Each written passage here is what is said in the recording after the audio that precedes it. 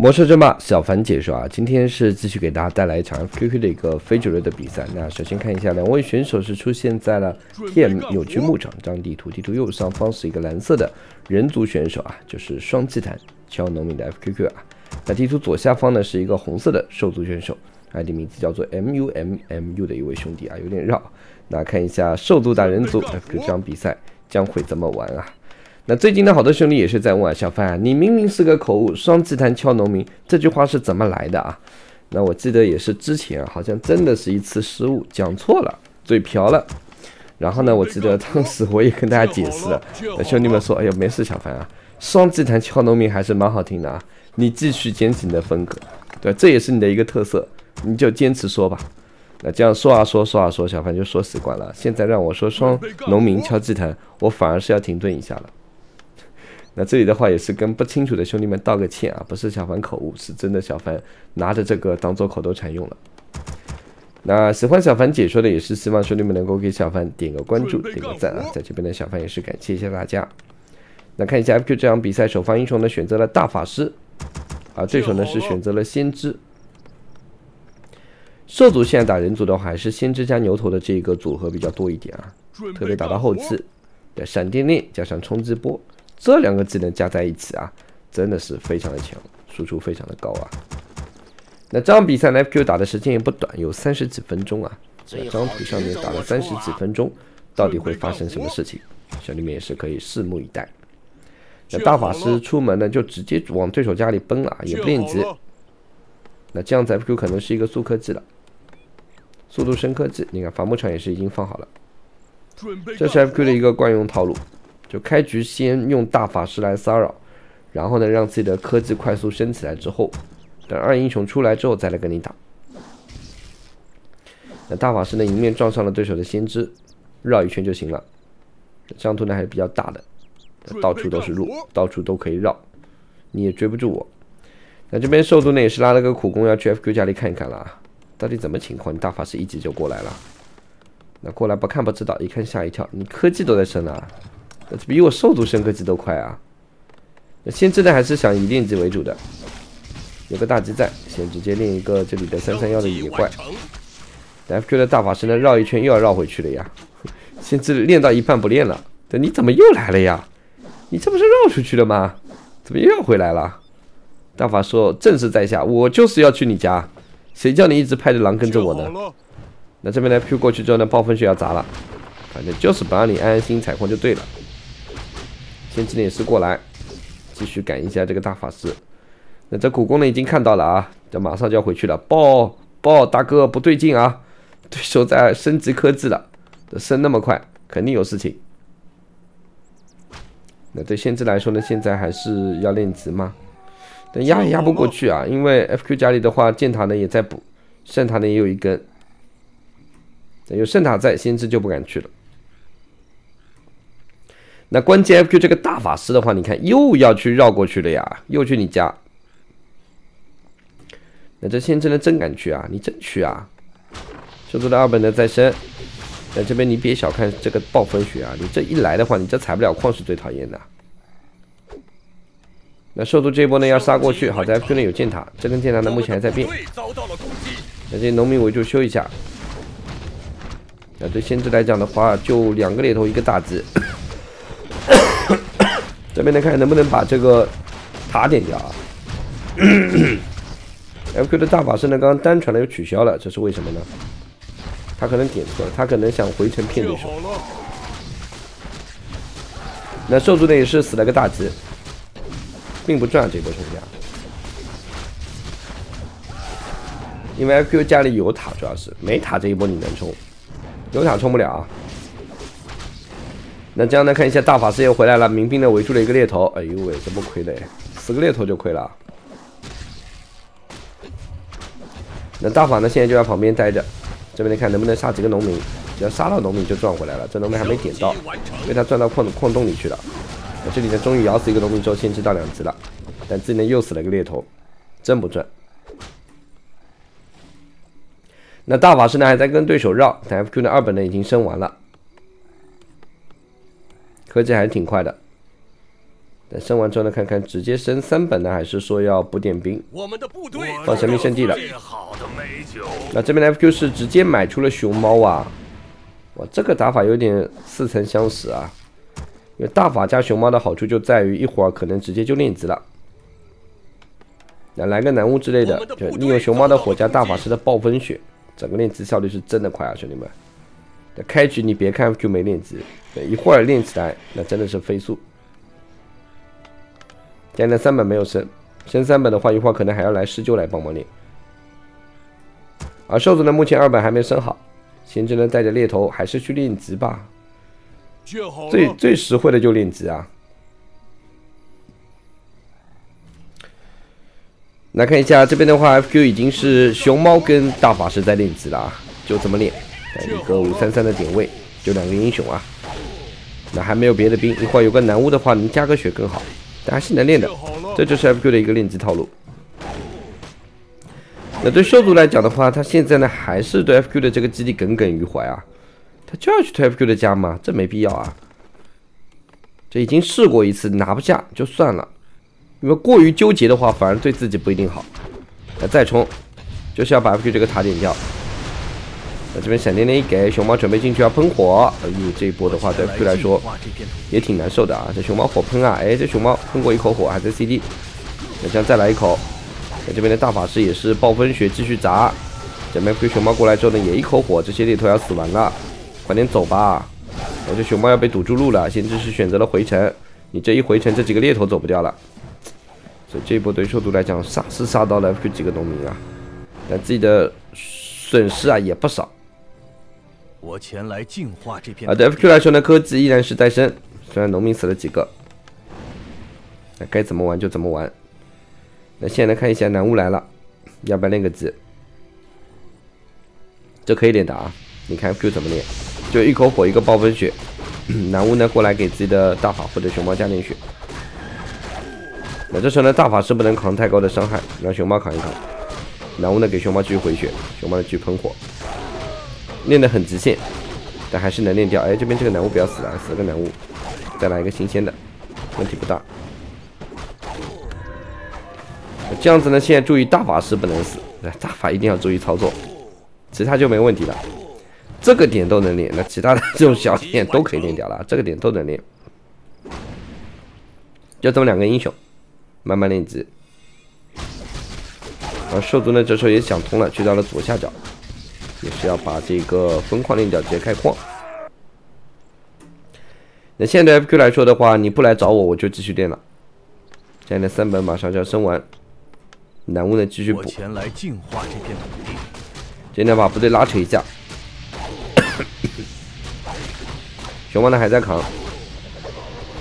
这两只熊猫的话，对九火一定要扔了，九火一扔那就有闪避了，有灭死的，丢失就是。那这边的熊猫又打了个闪避护符，还可以。熊猫正好需要这装备，因为它没有升醉拳啊。那这样再练掉一个点，大法师到三级了。那对兽族来讲呢，现在也是在安安分分的练级。这样呢，猎头在补，狼子在往内在升。那这样对 FQ 来说的话，你不来那最好。那最好三本升完之后，看一下 FQ 家里的话，三英雄是来个帕拉丁。那 JFQ 可能就不出十九了呀，就三英雄来跟你打了。这真的是能玩啊，会玩，就这么玩。有帕拉丁三个英雄呢，就互相辅助了。大法师的光环可以给帕拉丁回蓝，帕拉丁呢又可以给这两个英雄加血。熊猫说：“那我就多余的对吧？”不对啊，熊猫你能扛伤害啊？对你来扛啊。那这边的兽族也在练。但是 FQ 的点呢越练越大了，准备直接要练右下角这个主基地了。等帕拉丁出来了，家人们继续放点塔。这边也不等帕拉丁来，就这么练了。那这边你看，两级的暴风雪加上熊猫的喷火，这种点能轻松练完。这就是一个练级的规划，但不用千军万马。就这么点单位，还是能练完。升级完成。那熊猫呢？打了一个黑暗宝珠，装备也不错。帕拉丁也再过来了。现在 FQ 就两三个英雄加上两个男巫，这里还要练石头人吗？这石头人不好练啊，因为石头人你喷火和暴风雪都没用，但可以打后面这些单位。那有帕拉丁在了之后呢，怎么不好练都能练啊。圣光一照，熊猫慢慢扛就是了。男巫呢慢慢加血。来看一下 FQ 家里的话，目前的也没什么部队啊，就这么二十八人口的三英雄加两个男巫。啊兽族这边呢，也是继续要往 FQ 家里去了。他呢也在侦查，兜了一圈，看到怎么野怪都没了呀，心里也是在诧异，这怎么练的？我也没看到他有什么出兵建筑，就这么练完了。那这边的 FQ 买了个高达大法师呢，直接就回城了，因为发现对手大部队也来了。那这波 FQ 是要跟对手打正面的啊！FQ 也怒了呀，大哥你老是这么来跟我打，来呀，别走了，互相伤害，我跟你拼一波！大法师暴风雪继续砸，熊猫一口火，守住打不了，这波 L E 太强了。这边的打掉一个高达，那兽族呢应该要撤了啊，打不了这波，打不动主要是。因为三英雄依然都在。那对 FQ 来说呢，该练级还是要练级，毕竟三个英雄的等级呢还没上来啊，还是要练一下的。兽族呢还是要去嘛，兽族矿都好了，兽族你就要发展点经济啊，直接把部队补上来再打，这么点人口上去没用啊，这种属于小打小闹啊，也伤不了对手皮毛我们的部队。那这边呢，FQ 又练练掉一个点。兽子又来了，熊猫九火一喷，你走不走？你不走就开始杀了。然后在那兽子也是赤本团补，但大法师有暴风雪了吧？网珠帕拉丁想杀也杀不了啊！熊猫再来火，这边的对手的熊猫也喷了一口火，双方对喷。那对手对喷我就没有怕过谁啊？那这边的暴风雪再砸，感觉兽族现在的话就是想跟 FQ 打一波正面啊。打不了，真打不了，顶加速走人了。那这时候呢，FQ 这里的两个骷髅呢，也是在到处做侦查，看一下对手有没有开矿。这边的大法师到四，帕拉丁到两级。那这样帕拉丁有个无敌的情况下，那真的更强。现在 FQ 真的没什么兵啊，他就不出兵啊，就两个男巫，你看到没？这两个男巫也是加血的，没有别的作用。那这边这一波呢，对 FQ 来说继续要去练级。这里呢买了架飞艇，就准备要上岛嘛。上岛现在不好打吧，虽然都能对空啊。你看熊猫是有黑暗宝珠，爬林呢有火焰蜘蛛，这边呢又打了一个暴风雄狮号角。骷髅呢继续做侦查。那这边的 FQ 又买了个高达，高达还是需要的，因为现在 FQ 的木材是比较缺的，而且没矿。那这波呢？FQ 把身上能卖的装备都卖一波了，买好避难，双避难。熊猫呢，并没有把黑暗宝珠卖掉，熊猫觉得这装备还可以，留一留。那这时呢，FQ 准备要上岛了，农民带上，一波走人，再带个农民，再带个男巫。啊，兽族呢，看一下右下角，准备还要继续开矿，同时呢，这边也在练级。兽族这一波装备也行啊。爪子加九，一人面罩都在。FQ 这边呢是强练了，强行练掉，反正有加血，有有人能扛，还有 AOE。等打剩一个九级花矿岩呢，就慢慢点就是了。熊猫呢也是已经到四级，这边呢也等不及了，把矿先开了再说了。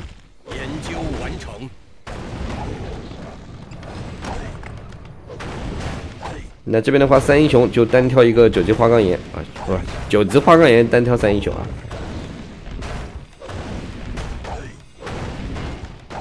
啊，这边的兽族也是继续在练，打了个水晶球呢，也是照了一下。他照在哪？照在 FQ 的主基地，要看看 FQ 主基地什么情况。那这边的 FQ 是打了什么装备啊？复原药水。这边农民再再照一个农民过去啊？这还要去倒矿吗？现在 FQ 是四级大法师，四级的熊猫加上一个两级的帕拉丁了，等级慢慢上来了。啊，兽族的右下角是继续开矿，FQ 呢继续练级。现在对 FQ 来说，整个练级是真的快啊。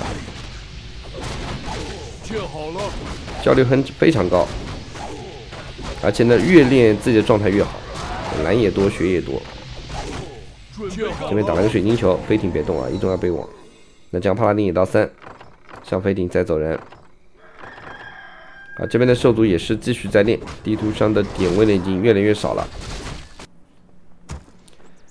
这边呢又拉了两个农民出去，这是要干啥呢？一起上飞艇啊？那飞艇等一等啊。这边的熊猫是打了一个法盾护符，这装备在没有 MK 的情况下其实作用不大，啊，还是打 MK 比较好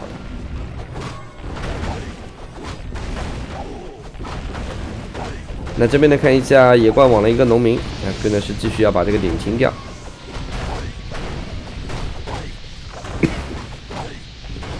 升级完成，打了个异页面罩，装备呢也不错，对熊猫来讲。那快点上去，兽族呢好在并没有直接杀过来啊。那现在 FQ 就以导矿为主了，家里呢依然是没有什么出兵建筑啊，就一个神秘圣地啊。三英雄加上南巫，就准备继续要把这个九级换杆练掉，还没练完，这矿先开了。那现在对兽族来讲呢，也不知道 FQ 在干嘛。他虽然还在做侦查，但看不到分矿，他心里应该有低谷了：你肯定有导矿啊，否则你这矿怎么开啊？他还在找，他要去右下角也要找一找。准备干活。那现在 FQ 这个练级是真的舒服啊！你看这不掉血的，基本上。九级换钢岩就这么没了，轻松练掉。这边熊猫呢是打了个野性神像，就找一个拍拍熊。啊，兽族这边呢看一下，已经察觉到 FQ 有矿了，所以直接买飞艇登陆了。这样对 FQ 来说的话，他是有回城的，快点下来回城回去吧。这里又看到了对手也开矿了。那这波呢，FQ 是先把对手的分矿打掉，自己农民下来之后呢，也是要造点塔。对手看到了也无所谓，我就造了。大法师呢在吃本书，也不准备去救自己的这个分矿了。那现在 FQ 是四级大法师、四级熊猫加上一个三级的帕拉丁，AOE 伤害是挺高的，两级暴风雪加上两级的酒火。这边兽族的分矿呢又被发现了。兽族的这一盘是想乱矿的，但明显开不出来。那这边的右上方的矿石终于轻松打掉了。那这时候兽族是认为 FQ 可能没矿了，沾沾自喜啊！你的矿瞬间就被我发现了，我看你怎么办。那谁知道左上角还有矿？这边的 FQ 还放点塔。那这里呢，对手是把这架飞艇买掉了。哎呦，这一波 FQ 好在这里也有飞艇。那继续上岛，能上就上，哪怕你看到也无所谓。乌鹰呢到处插眼，兽族这边的加飞艇呢，看看要不要去左上方。那其实现在兽族要补自爆蝙蝠啊，你出个自爆蝙蝠去偷袭对手这个飞艇，效果肯定也会很好。我们的基地遭到了攻击。我们的部队。那这波兽族的话，继续去左上角了。有，FQ 这个矿。还不如不造好了呀，那造好要被对手拆掉。这边的 FQ 继续在练级，练的还挺快的啊，别说，有心灵火在，攻击加的也多，熊猫加到五十五攻了。那这边的兽族也是已经准备要登陆了，FQ 要不要回城一下？这波感觉可以考虑回城啊，但回城的话，你必须把飞艇带上。而且飞艇不能被打掉。不回城，不回城。哎，自爆蝙蝠！哦呦，这一波，这一波对手果然是来了呀！将大法师回城，并没有回到左上角，而是回到自己的主基地。这左上角不能回啊！左上角一回的话就出不来了。要买飞艇，就怕你买不了啊！对手就在自爆蝙蝠在这守着，你怎么买？那将 FQ 这边矿呢又没了。好在呢右上角的话。还要开矿，先造塔，再开矿。那比赛呢打了快二十分钟了，对 FQ 来说的话，三英雄等级呢也是慢慢的升高了啊。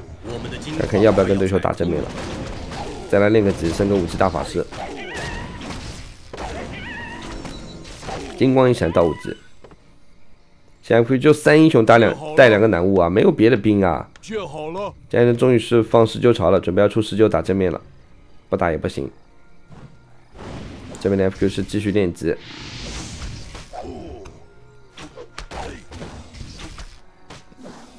有心灵火在啊，整个输出呢也挺高的。熊猫一个暴击一零四了，已经是。建好了。这边呢再来一双敏捷便携，熊猫的离五级不远了。而兽族这边呢，目前看一下他的大部队呢也是在满地图的跑，双方正面可能要碰到了啊。这边的 FQ 加飞艇也是往右下角走，他是准备还是要去右下角的矿练掉。那熊猫过来一口火，这边这波苦攻呢可能要死，但兽族大部队呢也来了，一个男巫给你点掉。那对 FQ 来说这波要不要打团战？大法往里躲，堵住口子，那这男巫要死了。熊猫呢也是已经到五级，兽族呢里面有三根箭塔，但可能现在有这个帕林在啊，可以给熊猫加圣光的。那你看这手 FQ 就三英雄，三角模式守住这一波，熊猫呢还能扛圣光再一造，这边无疑呢是打放了个禁止陷阱，但帕拉丁也到四了，闪电呢给圣光再造，熊猫死不掉就行了，能扛一会儿就扛一会儿。哎呀，禁止陷阱来了，五级熊猫避难回去，我就是死不掉，嘿。那这样子的话，FQ 这边怎么办？大法师呢，直接回城带回去了。哇，这一波三英雄打得漂亮。那左下角的兽族也是开了一片岛矿，FQ 的右下角农民已经过来了，右上角的 FQ 的风光也好了。那现在 FQ 应该是要等这个帕那个血量上来一些再说了。熊猫呢也在避难，就三英雄跟对手打。那大法师已经打了两万伤害，熊猫也快两万了。两个人加起来打了四万伤害了。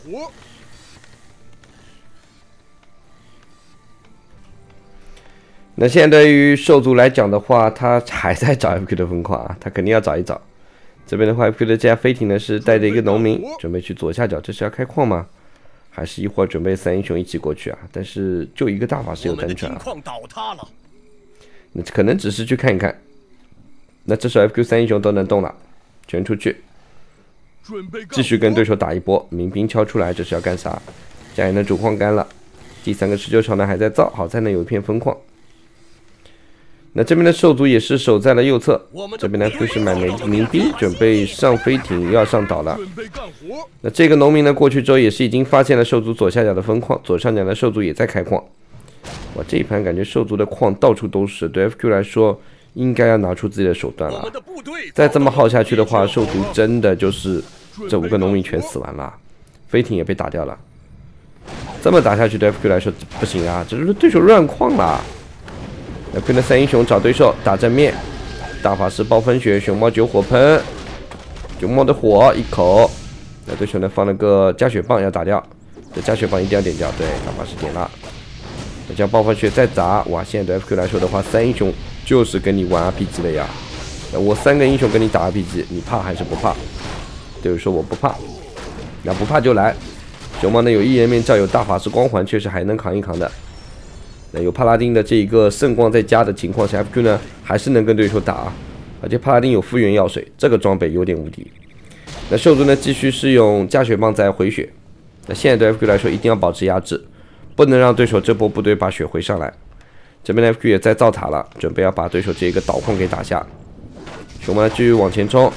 有帕拉丁的是继续顶无敌，圣光再给熊猫，暴风雪还在砸，哇，就真的是三英雄大战对手的这七十左右的人口了，刚刚是啊，这个有点凶啊，三英雄打七十人口，秀子有点扛不住了，你看，这主要还是说 FQ 的这三个英雄的配合比较好，有加血，有回蓝，有 LE 伤害，你怎么办？这边的熊猫一会儿又有一口火再一喷，哎呦，无疑也死掉了。圣光再加，对手呢想我 FQ 这五只熊猫没用，哎呦，小白要死了，小白要死了，哎呀，兽族这一波打不过，我觉得这不是正面打不过，这心态要炸。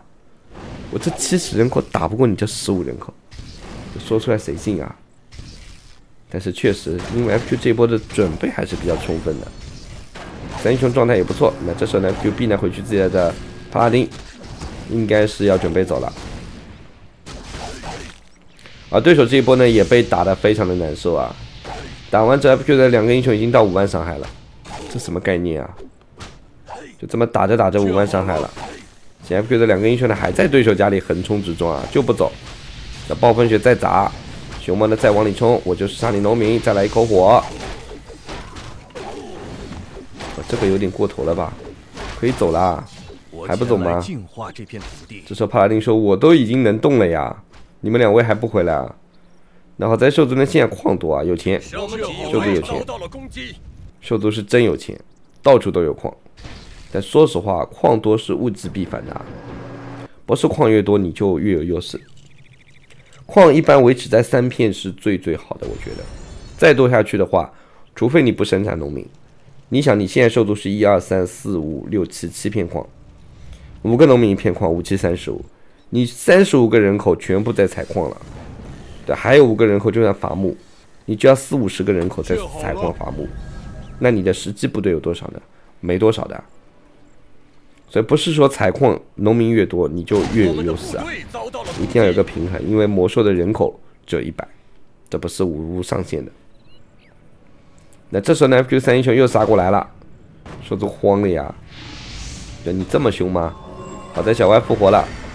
这边的帕拉丁顶无敌，大法师砸暴风雪，要把对手这个加血棒打掉啊，这是重点。打不掉加血棒，那对手可以一直回血。那这边的熊猫再来一口火，双方呢还在拼。这样子感觉现在对于对手来讲，不知道打谁好啊。想秒这个大法师呢又没秒掉，你看秒不掉，再一个网。那这边的 FQ 回城了，这波呢对 FQ 来说也是稳一点，因为不能拼极限，万一死个大法师呢有点亏啊。那对手的飞龙呢扛不住又死了一只，这么打呢 FQ 现在也有钱，因为 FQ 没什么部队，你看不出部队，十九我不来我就三个英雄。那现在三英雄已经打了五万八、六万四、六万四的伤害了，三个加起来，这边的塔也是越造越多啊。这对 F 来说呢，还是要跟对手搞套路了。这边呢，再买一架飞艇。三英雄呢，继续跟对手打正面。现在 FQ 也知道，不能给对手任何喘息的机会，一定要压着打。准备干活。这句话好像大家很熟悉啊，喜欢足球的都知道啊，压着打，我就要压着打，不管对手是谁。那这边来看一下，三英雄再一次是来到了兽族右下角的分矿，一口火，把你们这波塔先打完。现在兽族其实正面根本就打不了啊，这波苦工死完了，哎呦，这苦工躲进去干啥呢？再来一口火没了。那兽族呢也不敢过来了，你看兽族大部队就在这守着，不是他不愿意去打，而是他真的不敢。那这边的 FQ 的塔这里也是越造越多啊。那这里真不好意思，小凡咳嗽真有点忍忍不住啊，已经摁了好几次暂停了，我不想再摁了。也一直摁的话，兄弟们也说了，这断断续续的看着不舒服。建好了。那这里呢，FQ 是继续造塔，准备把右下角这边矿开起来。建好了。同时呢，也在继续杀对手的苦工。喷火加上暴风雪，对于这边兽族来讲是真的没有任何办法。建好了。这回不来了。兽族回来嘛？兽族要打，打你就来，我陪你打。现在对于兽族来 FQ 来说，就是要我跟你打正面，一口九火，暴风雪可以继续砸。把灵圣光留给大法师，哎呦，这边有点扛不住啊。圣光在 CD 那就算了，走吧走吧，用回城来跟你换。那兽族呢？这里来了三辆投石车，这是干啥呢？没用啊！你这不在开玩笑吗？投射过来要砸了，就一看，哎呦，这送经验来了，兄弟啊！嗯，这是夏日送清凉啊，冬日送温暖，这来的正是时候。那这样子的话，大法师能到六，帕拉丁能到五，这一到六级之后，左下角抽出的分矿又麻烦了。哎呀，这送的真的不应该，兄弟啊！但为什么你会这么送呢？就没看懂啊。这关键时候送了三辆头车。对。兄弟说了，就是这三辆头车，哎，没到六，哎呦，差一点经验，这这什么人品啊？这什么人品啊？这差了二十九点，这个差了十八点，就是没升级三英雄，升级完成。那右下角 FQ 的塔越造越多，这个绿皮有点慌了呀，大哥我出不去了，我被包围了，我被什么包围了？我被箭塔包围了，你没想到吧？那这边也一样，也被箭塔包围了。哎，这边兽族也在造一堆箭塔。升级完成。那这边的这个苦攻，哎呦，让大法师到六级了。那这边的大法师直接是一个大招，准备去右左下角兽族的这个分矿了。熊猫一口火，大法师暴风雪。这样子熊猫也是马上到六，帕拉丁马上到五，这一根塔就能升级了。来了，金光一闪，两个英雄都升了。那这样对兽族来讲，现在哎呦回城啊！兽族，你确定要回城打吗？这一波，我觉得你打不了，我真的觉得你打不了啊！九火一喷，灯光一照，大法师往后走，这里有这么多塔，也根本不怕你啊！哎呀，兽族这波来了之后还走得掉吗？他没回城，有小歪有回城，还好有回城啊！现在帕拉丁先顶无敌，熊猫人能喷火就喷火，兽族被逼在角落里打了呀！这怎么玩啊？熊猫六级还好没大招。但马上又能喷火了！哎呦，这一口活下去，这一口活下去啊！兽族的部队要死完了呀！这怎么玩呢？这真的是越打越伤心啊！兽族是被对手摁在家里打，还是七十多人口，打不过，就是打不过这三个英雄啊！打了一整场了。那大法师的大招再走人，直接去到右下角把这个绿皮处理掉。那 Q 三英雄目前已经打了七万。七万六、七万七、八万四、八万八万五左右的伤害了，三个英雄打了八万五。帕拉丁说：“你别算我了吧，我就我就八千的伤害，当然也算了。帕拉丁才是重要的，他毕竟有加血啊。那现在对兽族来讲呢，矿多反而是拖累了。你每片矿补不补农民？你补农民，那你的人口就全占掉了，而且你补到一百人口你也补不满。”你不补农民，你这矿就白造。对，小凡前期说的没没问题吧，兄弟们？那这边的 FQ 三英雄又来到了兽族左下角的分矿，准备再拆你一波。慢慢拆就是了。兽族这边呢又是八十八人口的大部队，准备去右下角拆这个箭塔。这这这怎么拆呢？拆不掉啊！而且 FQ 的大法师有大招，随时可以过去的。那现在 FQ 来说呢，就是一片一片矿给你拆完，看你怎么玩。建好了。啊，兽族的大部队呢，现在集合在这儿，也进攻不了，FQ 反而过来了。这三英雄到位，熊猫呢要绕出来，先把你这辆头车打掉。我看你怎么玩。熊猫六级有大招，关键是啊，一口就火喷了。哇，这边三个英雄的伤害啊，七八八万八，哎呦，这只要接近十万了啊！灯光再一照。双方呢，还在输出。那这样子的话，你看 Q 这边的输出特别高啊，已经九万了，已经九万伤害了，三英雄。那这边暴风雪继续砸，哇，这一排就真的打的自信啊，就三个英雄 RPG，这比我打电脑都自信啊。